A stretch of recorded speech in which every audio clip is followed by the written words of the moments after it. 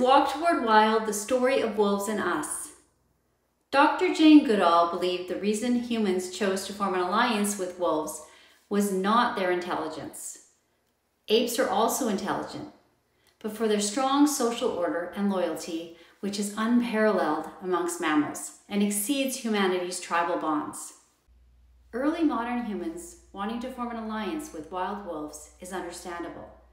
Wolves were apex predators. We were not. The real question is why would wild wolves want to be our friend? They didn't. We tricked them. We used wolves' altruistic nature to trick them into accepting us as pack members so that the superior hunters would allow us apprentices to learn from them during the hunt and also share their food with all pack members, which included us. There are two theories of how this faithful partnership became, came to be. One is the scavenger theory. Wolves would visit human campfires and scavenge food, and thus become reliant on humans to feed them. But wolves are wild, they're not tame.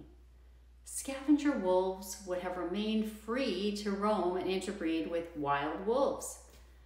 They would have not become genetically isolated and would have continued to give birth to wild pups with wild tendencies, wild temperaments, often unsuitable for cohabitation with humans.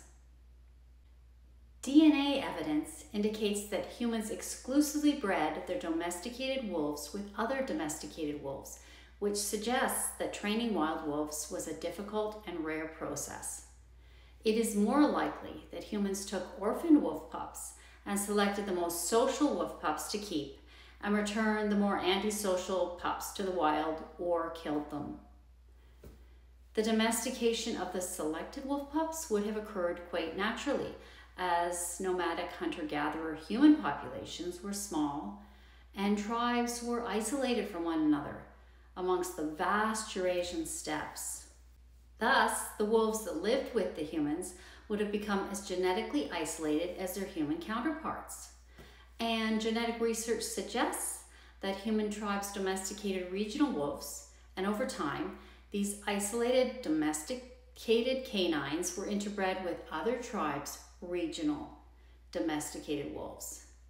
And this is the reason why today our modern dogs can trace their lineage to a complex variety of Eurasian wolves.